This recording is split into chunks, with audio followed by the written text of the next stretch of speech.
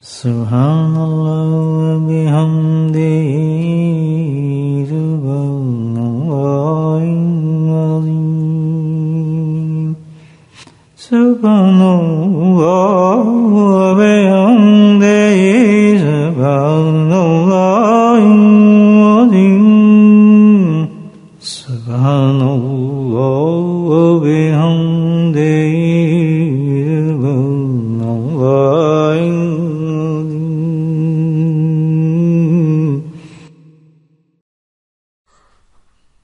should be extremely grateful to Allah subhanahu wa ta'ala, Allah, subhanahu wa ta'ala's grace and mercy and blessings that in these nights, in these days, Allah subhanahu wa ta'ala gives us the tawfiq, the ability to do dhikr, to remember Him.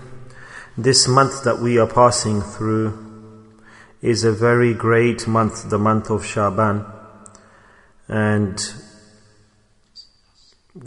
for this reason, well, one reason is that it is a month full of barakah. It's close to the month of blessings. And the other point with regards to Shaban, which causes it to be full of barakah and blessings itself, is that Allah's Nabi sallallahu alayhi wasallam, with regards to Shaban, did a dua for the blessings of Shaban. And if Allah's Nabi sallallahu alaihi wasallam did a dua for barakah in a month, Allah make this month a month of blessings for us, in other words, Shaban, then how much barakah there must be in this month? Let's think about it, how much Allah Ta'ala's mercies must be descending, the nights and the days, how the nights must be great. And such great moments and nights and days and morning and evening, if in these moments Allah subhanahu wa ta'ala Allah gives us the tawfiq to do such an amal, such an action, that compared to that action, in terms of reward that Allah Ta'ala has kept for that action, there is no other action that can compare. There is no other action that can compare. So quickly is that action accepted. Allah Ta'ala very quickly gives the reward for that action. And reward, Allah Ta'ala states, Allah mentions that when my servant remembers me, does my dhikr, then I also do his dhikr. I remember him. Subhanallah. Now the mashayikh, the pious elders have said that after getting this reward, what other reward do we need to attain? Is there any other reward after this reward? That Allah Ta'ala, our Rabb says, I remember you. Then after this reward, is there any need for any other reward? Do we need to attain any more rewards? To remember Allah, to remember our Creator. It's like this, that, for example, if we think that there is a king of a certain land, of a nation, of a country, then he focuses on one individual. One individual. Obviously, when the king focuses on that individual, or gives him his grace, or makes him closer to him, or loves him, gives him status, then all the subordinates of the king who work for the king, the ministers who depend on the king, who live in that land, that country, they'll all start to become sidekicks of that individual, won't they? Of course, they say, oh, the king, he likes this person. He's close to the king. Everybody will shake that man's hand and say salam to him and want to know him and be a contact of that person. Why? Because the king likes this person. Allahu Akbar. So if Allah remembers his servant, then Allah is khaliqi hakiki. The true Lord, the Master, and one ant which is crawling on the ground also knows that man that Allah Ta'ala likes and that Allah Ta'ala remembers. How can it not know that person? How can it not know? Is this ant not the creation of Allah? That ant the spider. Even that insect knows a bird that's flying in the heavens, in the skies, knows that man who Allah Ta'ala remembers. A small, small, minute, millimeter long spider recognizes that human being who Allah Ta'ala is remembering. And and because Allah Ta'ala is remembering that person, so all makhluk, all of creation, whatever status they're on and understanding, according to their qualities and attributes and ability, they also remember that person that Allah Ta'ala is remembering. The earth every corner of the earth, east, west, north, south, remembers that man. How? Because all the barakah, they, the earth, it brings out all of the barakah for that person. It spreads all of the barakat in the world due to that individual. And water, how does water remember that person? Allah? Does water also remember that person who's doing your dhikr and that you're remembering him in turn? Does water remember that person? The winds, the skies, the clouds, the leaves on the trees, they remember that dhakir. Rather, if you take a tree, a piece, a fruit hanging off a branch of a tree makes a request, Oh Allah, please allow this man to devour me, to eat me. They will become the sidekicks of that man, the dhakir, or that woman. One, one chicken, let's take a hen, a chicken does dua, that, oh Allah, please allow me to become the food, the khorak for this man so he eats my leg, my wing, my, uh, my feathers are taken off, etc. Is happy that animal, that piece of creation is Think, look, think in your minds for a moment here. Ajib points can come to your mind, but this is a big reality, this reality that I am explaining. Such a big thing is this action to remember Allah that the whole of the universe and creation starts to like and prefer that human being who remembers Allah. But our nafs, our desires and shaitan and dunya have made it so hard for us to remember Allah to get this road that there are just a few people who Allah Ta'ala likes and prefers. And Allah Ta'ala sometimes, for example, poor soul, who, if Allah Ta'ala brings a person or drags a person towards dhikr, then sometimes it's in his destiny that shaitan and nafs, they overwhelm him. Say, oh, run away from here. Leave this gathering. Be gone from here. And the biggest loser, you can say, or wretched person is that person that Allah Ta'ala gives him the tawfiq to do dhikr, or Allah Ta'ala sends him to the company of his wali, and then that person discards that company or practice and leaves it. Then consider really that he is surrounded or she is surrounded by shaitan and jinn and nafs. They've surrounded him or her. So for such an individual, we should do special dua to Allah subhanahu wa ta'ala. And that individual should understand that there's no greater action than Allah ta'ala's dhikr. And my heart is leaving dhikr, or not happy to do dhikr, or I want to run away from Allah ta'ala's remembrance, or I think I've got difficulties due to dhikr, or wasawis, or waswasa, or some people start shaking. Some people start shaking, do you know? due to doing dhikr. They say, no, no, no, I don't feel like doing dhikr. I feel upset mentally and spiritually. I'm not stable. Imagine. Imagine. So what does Allah Ta'ala say? That Allah says, when you remember me, I remember you. The universe remembers you. Rahmah descends to you. The, the birds remember you. The animals remember you. They praise you. The fish praise you. The leaves praise you. The winds praise you. And Allah subhanahu wa ta'ala remembers you also. Subhanallah and according to their status. Now, how does Allah subhanahu wa ta'ala remember the human being, the dhakir who's remembering Allah? Allah ta'ala says, I give my favor special to that human being. Allah says, I remember you in such a way that I've forgiven you. I've forgiven you. فَاذْكُرُونِي أَذْكُرْكُمْ وَاشْكُرُونِي وَلَا تَكْفُرُونَ so, in such a time, in a month of blessings, Allah has given us His fadl, His karam, His mercy. Everything is based on Allah's fadl. That Allah gives the tawfiq to us to come and sit in His dhikr. My brothers, this is a big wealth. We will realize in Qiyamah, on the day of Hashr, that how we used to arrive to dhikr, how we would sit in dhikr Allah. Allah, how you have delivered us to this gathering, to this majlis, how you made us do this action how we recited your name, remembered your name. You made us capable of remembering you, reciting your name. And when we used to remember your name and do your dhikr and sit in the majlis, we used to feel good. And we used to feel peace. Allah, we didn't even know that there was such a big reward given for remembering you. We weren't even aware. We didn't recognize this or realize this. So especially in Sha'ban, a person should understand that we are taking the treasures that Allah Ta'ala has given to us. We're sitting and taking the treasures in Shaban in this month.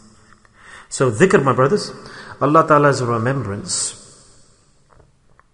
In the Quran Hakim, wherever Allah Ta'ala has ordered us to remember Him, to do His dhikr, alongside that Allah Ta'ala has used the word kathira, abundance, quantity, that do my dhikr in abundance, in high quantity. Remember me, but how? In high quantity. Now, there's a condition so that Allah Ta'ala has attached to His remembrance here. Allah Ta'ala has attached a condition that don't just remember me, rather how should you remember me? In abundance, kathiran kathira. Subhanallah. Allah's mercy that Allah Ta'ala says that if you're not going to eat the halwa, you have to finish and eat all of the halwa that's on the plate. You know, these gulab jamun, these sweets, you're not going to eat two or three, you have to empty the plate, then leave this. These rasgullas, you have to eat all of them. Allah says, no, not a little bit of dhikr, rather abundance of dhikr. Abundance of dhikr, subhanallah. Beautiful. Allah's given da'wah, invitation, Allah's put giving us His favor, His karam, and then letting us do His dhikr. And on top of that, Allah says, no, no, no, in abundance you have to remember me. In abundance. Now, how many people remember Allah in abundance? Okay, yes, we do dhikr. But who does dhikr in abundance? Kathiran kathira. Who? Who does this? Tell me. Yes, we don't have the desire. We run away from dhikr. We don't have the taste for dhikr. We don't have the passion. So how will we bring kathiran kathira? Some people say, I do dhikr in the morning, this many tasbih, in the evening, this many tasbih. I've done dhikr. No, but that's not kathiran kathira. That's not abundance of dhikr. Or if you do, do 10,000 or 50,000, Allah Ta'ala says this is not kathiran kathira. If Allah Ta'ala has said that do my dhikr in abundance, then Allah must have prepared a method so we can do it in abundance, isn't it? Otherwise, Allah Ta'ala can give us a lot of quantity. For example, 5 rakah, 4 rakah, 3 rakah, 2. These are faraid. Yeah? Salah. Subhanallah. That salah, Allah Ta'ala has put a limit. There's no bigger ibadah than this, is there? Salah. So if Allah Ta'ala says 3, sal- three rakah, not 4. How much did we just pray now? At Maghrib? Did anybody pray? Anybody pray 4 rakah? No. Can anybody? Oh no, I'll get more thawab if I do 4 rakah. No. No. That if you pray even 20 rakahs, but the thawab is in 3. If you pray 20 rakah, it is sin. Allah Ta'ala will be unhappy. Subhanallah. So Allah Pak has given the set limitations for ibadat. But here there's hikmah. That in the morning, how many rakat are there? Fajr? Two. Why? Why? I've come to the masjid, Allah, ah, two rakahs not enough. I want to remember you more, I want to pray more. I'll pray 12 rakah for Fajr. No, we cannot pray. Isha, there's four rakah, this many total units. Oh no, I want to do a shortcut, I want to pray less. No. So Allah subhanahu wa ta'ala, if He's put a limit on salah and the number of rakah, units to pray, then Allah ta'ala could have put a limit on dhikr. Allah ta'ala could have not said kathiran kathira. Allah could have said do 10,000 or do 5,000 repetitions of my name or 3,000 in your heart. So here we learn that Allah Ta'ala has attached no limit to His dhikr. Allah Ta'ala said, kathirun kathira. So have we paid attention, O you dhakireen brothers? Oh we, have we thought about this point when we ask someone, oh I did 120 tasbih in the morning, or I did this tasbih in the evening. This is what we say, isn't it? This is sad. How sad? Allah Ta'ala says what? Do dhikr kathir, and I account the tasbihs and the beads and the quantity and the number. So is this kathir? No. So what is kathir? Kathir, Allah subhanahu wa ta'ala has prepared for kathir, and Allah ta'ala said it, so obviously He's prepared for it. So kathir dhikr, what is kathir dhikr? That it doesn't stop. Subhanallah. Say subhanallah. That when does it stop? At the time of death. Aha, Allahu Akbar. So this is one point. This is one angle you could think. Allah Ta'ala says kathir, abundance. Remember me in high quantity. Do dhikr in that way that it never stops. Since you were born until you pass away, what should you do? My dhikr, continuous. Subhanallah. Subhanallah. Allah Ta'ala, how do I do this? How do I remember you? Um, that if I don't pass away, until I don't pass away, I remember you from the time of birth till, I, till the time I pass away. Yes, Allah says, this is kathir. Kathir. And don't stop. And don't stop for a second. That dhikr shouldn't stop for a second. And that's when you can be included in those people, with those people who did dhikr kathir and kathir. So Allah, how do I do this? Allah Ta'ala has then guided us. Method. As Aisha Siddiqa radiyallahu anha stated that Rasulullah sallallahu alayhi wa sallam, that the Holy Prophet sallallahu alaihi wasallam stated every second, every moment he was remembering Allah. But he used to sit with you, sallallahu alaihi wasallam, he used to speak to you, Hazrat Aisha, and he used to play, and Hazrat Aisha Siddiqa, she used to also see, he used to, for example, they used to play, and um, the, he explained the events and the stories, Sahih Bukhari hadith, that Rasulullah used to speak with his wife, and they used to joke, and she used to sit with him, and, and she also said that he always did the dhikr of Allah. So, obviously she's speaking the truth, and also she's telling us all the truthful events that happened when they were in each other's company. So then we ask Hazrat Aisha, how can it be you're saying that the Prophet ﷺ always did dhikr, but at the same time he used to speak to you, discuss with you, there used to be jokes and a little bit of playing and passing the time together and relaxing. And Hazrat Aisha said, yes, Rasulullah ﷺ used to be with us, but his heart was with Allah. He was with us physically, but his heart was with Allah. This is called dhikr kathira. A person lives in the dunya, fine, he works, sit with the wife and the children, runs his shop and business and taxi, but his heart is where? With Allah subhanahu wa ta'ala. Focused on Allah. Allah. Remembering Allah. وَاذْكُرُ اللَّهَ This is called dhikr kathira. Allah Ta'ala has given us a method, framework that you should never be negligent of my remembrance at any moment. Not a second should pass, not a moment should pass that you are not remembering me. Why? Because tell me one second where the heart is not beating, Allah Ta'ala says. Tell me one second. If the heart is not beating, a person passes away, isn't it? So there's no minute, no second that the heart is not doing tick, tick, tick, beat, beat, beat. Physically, the system is running that every drop of blood passes through the valves of the heart. So if the drops of blood pass through the valves of the heart, so if the heart is beating Allah, Allah, then every droplet of blood will come out of the heart saying Allah and be distributed across the body through the veins and through the body. Every drop of blood, and it will go into the liver, into the kidneys, into the into all the parts of the body. Allah, Allah, Allah. It will distribute the name of Allah throughout the body. Allahu Akbar. So this occurs at that time when a person does what? Does the dhikr of Allah, not from his lips, mouth, not from his hands, not from his tongue, with what? With his heart or her heart. Understood? Naqshbandi Silsila, the teachings of the Naqshbandi Sheikhs the Naqshbandi series of teachers back to the Prophet ﷺ, they teach the salik, the person who is the student, and that person is successful, the student, when he has two principles. Remember these two principles. There are two terms in the Naqshbandi teachings. If a person doesn't attain these two principles or follow these two principles, then he cannot be successful in the Naqshbandi teachings of doing dhikr. Number one, principle number one is qalbi. What is it? What's this point? The meaning of uqufi qalbi is that every moment the heart, every moment the heart, a person is focusing towards his heart, then my heart is saying Allah, Allah, Allah, Allah. And if we don't get to this position, a salik doesn't reach this position, then he's not successful. He's not successful. To get to this position, person should have such a strong connection with his heart or her heart that not a second should pass where the person is not focusing on the heart that my heart is saying Allah, Allah, Allah. And there shouldn't be a second person where the heart doesn't remember Allah. This is the first principle in uh, says, qalbi. That that person's heart always, every moment, is remembering Allah. This is kathir dhikr. The person's focusing on the heart. And this happens, it's not hard, alhamdulillah, it's not hard. It's not difficult. If morning and evening you do tasbih and you do dhikr of Allah, after that all day long what do you need to do? Focus on your heart. Whatever you're doing, your thoughts go away into the dunya, then straight away go back to your heart. And secondly, to protect, to look after. These are the terms of the Naqshbandi Silsila. Print that your heart, that you watch your heart, you guard your heart, you protect your heart. That no thought other than Allah should come into my heart because only one thing can come. Either it will be a, thought away from Allah or it will be the dhikr of Allah. Subhanallah. There cannot be anything else. So all day long, all day long, the salik, the student, should not think of other things other than Allah. In, uh, in the heart should be just the thought of Allah. That's it. That's it. In the heart should be the thought of Allah. That's it. That's all we have to do.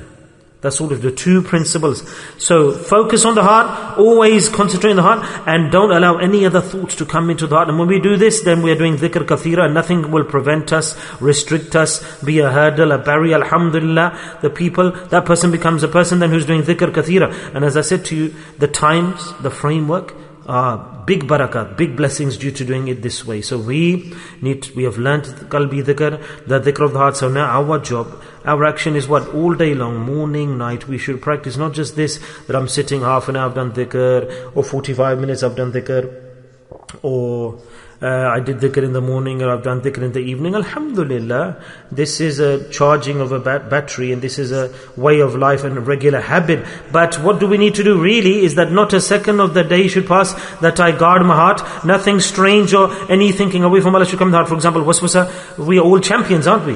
MashaAllah, if we look back, then MashaAllah, We see that there's a dunya behind us, people following us and recognize, may Allah forgive. In other words, we've done hijrah, isn't it? We've left the dunya, we've left the uh, sins and we've come to the place of nur and light. Allah Ta'ala says, يُخْرُجُ مِنَ الظُّلُمَاتِ إِلَى النُّورِ Allah Ta'ala says, take the person out of the darkness and bring him to the light. So this is what we have in it, that we were in darkness and we were lost and we were champions of that darkness. So we don't have to hide anything. But when a person becomes good or pious, then shaitan brings evil thoughts into the person's mind. Oh, you used to do these things. Oh, that woman. Oh, look at this attraction and this and that.